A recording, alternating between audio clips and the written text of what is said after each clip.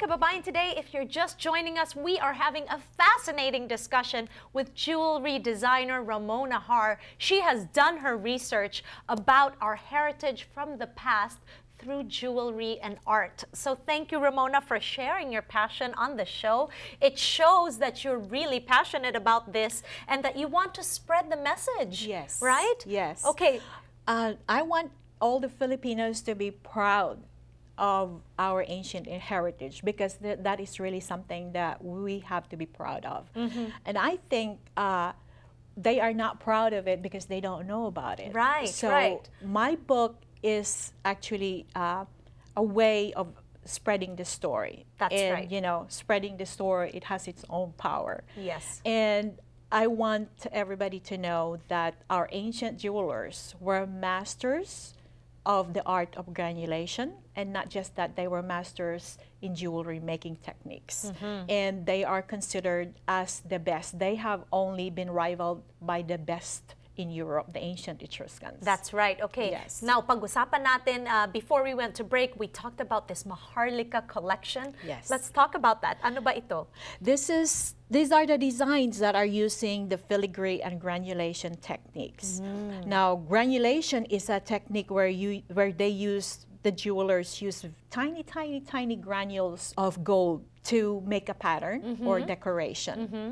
And as I have said, granulation is considered to be the most amazing technique ever that was that were developed by the ancient uh, jewelry makers. Okay, so why did you want to create the, the Maharlika collection? Because I want to spread the story that our ancient uh, Filipino goldsmiths were masters at it, and it is still and we have still jewelers in the Philippines that know the technique. They may not be as fine as the ancient ones, but they still have the technique. Okay, so sabihin na natin na napakaganda talaga at gusto ng mga taong makakuha ng isang um, piece of jewelry from you. How does this work? They can get in touch with me. I have actually a website. It's ramonahaar.com, mm -hmm. and I believe my phone number is there. Okay, or wonderful. they can message me on Facebook. Okay. Ramona so, so you are open to people getting in touch with you because I know it's one of a kind. You won't have the same piece yes, as anybody else, and that's what makes it so special. Yes. Right? Yes. Okay. And where can people get a copy of the book as well? Uh, the book will be on Amazon. I have not put on there yet, mm -hmm. but it will be on Amazon. Ramona, what is your message to our kababayans that are very interested in this ancient art of jewelry making? Whenever you have uh, you're in the Philippines, go to the Banco Central Museum, mm -hmm. and uh, you can actually view the all the uh, the exhibit in Banco Central. Mm -hmm. It's in their uh, permanent exhibit. And you can find examples that were, these were made 5th century AD or even much earlier, okay. much, much more intricate.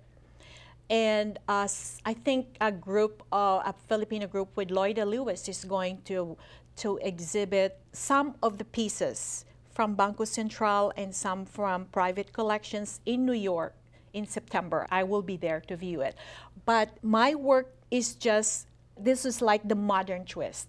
You have so, to make so it. So are you, you're able to put a modern twist yes. on sort of the way that the jewelry is made. Yes, because you know, in the ancient times, you know, the Philippines we don't have colored stones. We are ge geologically the Philippines is a young, you know, a young, a young landmass. Mm -hmm. So we don't have colored stones. We don't have diamonds in the Philippines, but we are rich in gold. Yes, we are. We have a lot of gold. So the ancient examples didn't really use much uh, colored stones. But because but you love colored yes, stones. But, and, you know, so modern people, you know, can appreciate the designs. It's more like contemporary designs, but the inspiration is, you know, the past or the yes. ancient. So you are melding modern and traditional yes. through the use of these ancient techniques of making jewelry they are stunning and beautiful up close. I mean, if you look at it, you can really tell the craftsmanship. Yes, and it is handcrafted by Filipino goldsmiths. Maraming maraming salamat, Ramona, for being here, sharing with us all your knowledge and passion here on Kababayan Today. Thank you for inviting me, Giselle. All right. At ngayon naman, magbabalik tayo dito sa Kababayan Today. But before we go, I just want to say thank you so much to Tita Prosy de la Cruz at pinahiram niya sa akin yung kanyang napakaganda na singsing made by Ramona. Magbabalik po kami here on Kababayan Today.